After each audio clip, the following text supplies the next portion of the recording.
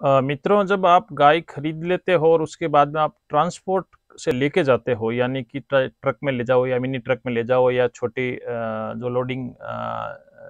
Pickup वगैरह है उसमें ले जाते हो, तो चाहे आप राजस्थान के अंदर ले जा रहे हो या राजस्थान से अदर स्टेट ले जा रहे हो, तो उसके भी कुछ नियम है ट्रांसपोर्ट के। सबसे पहली बात तो है कि जैसे आप राजस्थान के अंदर ले जा रहे हो तो आपको एक जहाँ से खरीद रहे हो उसके संबंधित जो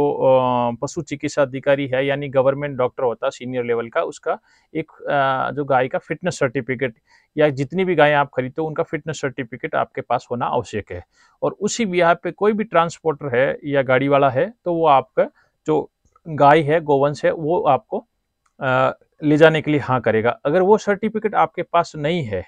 और उस परिस्थिति में वो आपको उसको मना करना ही चाहिए। अगर उसने उसको ये पता नहीं है और उसने आपके साथ गया तो उसकी भी गाड़ी सीज़ की जा सकती है, क्योंकि आपके पास कोई वैध सर्टिफिकेट नहीं है गाय को परिवहन करने का लेकर जाने का। और दूसरी बात आप अदर स्टेट में लेके जा रहे हो तो ऐसी परिस्थितियों में जो सक्षम अधिकारी के द्वारा जारी किया गया परमिट है आपके पास में गाय या गायों या गोवंश जो भी है, वो परमिट आपके पास होना चाहिए और साथ में वो पशु चिकित्सा अधिकारी का जो गायों का, गोवंश का वो फिटनेस सर्टिफिकेट जो स्वास्थ्य प्रमाण पत्र है वो तो साथ में रहेगा ही रहेगा। उसके अलावा आपका खुद का आईडी जो भी जैसे ड्राइवर है या फिर जो साथ में है उनका आईडी होना मस्ट है। और मित्रों जो फिटनेस सर्टिफिकेट है और परमिट में है, उसमें सारी जानकारी लिखी हुई होती है। किस नस्ल का गोवंश है, उसके अलावा उसकी संख्या कितनी है लिंग वगैरह है, स्थान है, कहाँ से कहाँ आप लेके जा रहे हो और जो आपका रूट चार्ट है, वो भी लिखा हुआ होता है और कहाँ पे जैसे बेचने वाला कौन है और खरीदने वाला कौन है और किस स्थान पर लेके जाई जा रही है और अनुमानित समय लिखा हुआ होता है कि भाई ये समय यात्रा में लगने वाला है। और उसके अलावा साथ में नियम ये भी है कि अगर आप लेके जा रहे हो तो साथ में एक समय का कम से कम आपके पास पानी होना चाहिए, जितने आपके पास गोवंश है उनको पिलाने के लिए मतलब आपके अंदर कोई ऐसा स्टोरेज टैंक या जर्किन में पानी भी होना चाहिए उनको बाल्टी वगैरह में पिलाने के लिए। और आपको यात्रा में लगने वाला, जैसे अगर दो दिन लगते हैं या एक दिन लगता है तो उतना चारा भी होना ज़रूरी है। और अगर कोई आप प्रेग्नेंट गाय लेके जा रहे हो, और प्रेगनेंसी का वो सिचुएशन बनी हुई है कि उसका लास्ट महीना है और किसी में किसी भी समय वो बच्चा दे सकती है। सो ऐसी परिस्थितियों में उसको अलग जो एडल्ट गोवंश है, जो जवान गोवंश है उनके साथ में नहीं लेके जा सकते। उसके लिए अलग से आपको लेके जाना पड़ेगा, ताकि उसको चोट ना लगे, इस वजह से। और दूसरी बात जैसे आप गाड़ी में लेके जा रहे हो लोडिंग ट्रक है या मिनी ट्रक है या पिकअप गाड़ी है, उसमें अगर आप लेके जा रहे हो तो उसके भी नियम है आप जैसे बरसात का मौसम है, गर्मी का है, सर्दी का है, तो आप जैसे ऊपर से गाड़ी कवर करना चाहते हो तो ऊपर से गाड़ी कवर कर सकते हो, लेकिन गाड़ी पूरी तरह से पैक नहीं होनी चाहिए। जो गाड़ी की ट्रॉली है वो पैक नहीं की जा सकती, यानी कि बाहर से नज़र आना चाहिए अंदर गोवंश है तो। यानी वो उस वजह से के भी लिए ज़रूरी है कि ताकि उसमें हवा और प्रकाश आसानी से जा सके। और वैसे तो आजकल ये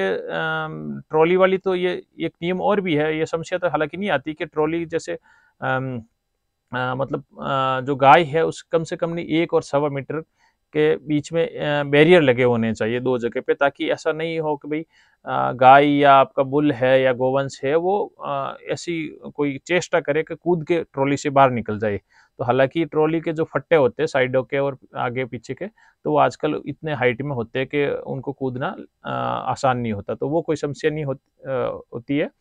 और दूसरी जो फर्श पे है, उसका भी नियम है मित्रों कि उसके ऊपर आप या तो लकड़ी के फट्टे या फिर पुआल, चारा या मिट्टी बिछा के उसके लिए उसको आरामदायक ताकि वो स्लिपरी नहीं हो मतलब फिसलन भरा नहीं हो। और सबसे महत्वपूर्ण मित्रों ये बात है कि जिस पशु चिकित्सक ने या चिकित्सा अधिकारी ने या जहाँ से आपने सर्टिफिकेट या परमिट लिया है, तो उसके साथ में ये भी चेकिंग किया जाएगा कि कम से कम 12 घंटे पहले जो आपका गाय है उसका एग्ज़ामिन किया गया और वो ट्रैवल के लिए फिट है, उसका भी उसमें साथ में मेंशन किया जाता है उस सर्टिफिकेट में। और उसके साथ में फ़र्स्ट एड बॉक्स भी किन्हीं कारणवश अगर रास्ते में यात्रा के दौरान अगर गाय को चोट लगती है, तो आपके पास फ़र्स्ट एड बॉक्स भी होना मस्ट है। और ये सब आपको मोस्टली क्या होता है कि अगर आप लॉन्ग ट्रैवल लेके जा रहे हो गायों को तो उस समय ये आपको ज़रूरत पड़ती है। और रास्ते में अगर आपको रोका जाता है तो ये सारे आपके जो मानदंड है, वो आपको पूरे करने बहुत ज़रूरी होते हैं। और किन्हीं कारणों अगर आप ऐसा नहीं कर पाते हैं तो उसमें क्या है कि फिर आपके खिलाफ जो एनिमल क्रुअल्टी एक्ट में है, वो कार्रवाई की जा सकती है। जब भी आप जैसे गायें या गाय लेके जा रहे हो तो साथ में ड्राइवर के अलावा एक अटेंडेंट होना बहुत ज़रूरी है। ये भी जो एनिमल क्रुअल्टी एक्ट है, उसमें क्लियरली मेंशन है, ताकि रास्ते में कभी भी जैसे कोई कुछ इमरजेंसी सिचुएशन आ जाए तो वो गायों की देखभाल कर सके और साथ में आपके पास में रस्सी और गायों को बांधने के लिए वो भी होनी ज़रूरी है और साथ में लकड़ी या लोहे के फट्टे होने चाहिए ताकि आप कहीं पर रैंप बना के उनको वापस उतार भी सके। और हमेशा मित्र इस बात का विशेष तौर पे ध्यान रखें। इवन कानूनों में भी ये मेंशन है और ये आ, अगर आप देखेंगे तो ये भी है कि हमेशा जो मूविंग डायरेक्शन ऑफ़ व्हीकल होता है मतलब जैसे आ, जो जिस ट्रक में या मिनी ट्रक में आप लेके जा रहे हैं जो हमेशा मूविंग डायरेक्शन होता है यानी कि जिस साइड में ड्राइवर है तो फ्रंट साइड में जो आपकी गाय का मुँह होना चाहिए। कई बार क्या करते हैं कई लोग आमने सामने क्योंकि कम आ, उनको लगता है कि भाई हम स्पेस बचा लेंगे और ये गाय ज़्यादा आ जाएगी तो वो फिर एनिमल क्रोल्टी एक्ट में आ जाता है तो ऐसा आप कतई न करें। और दूसरी बात ये है कि मित्रों के अगर आप ट्रेन में जो भारतीय रेलवे है वो भी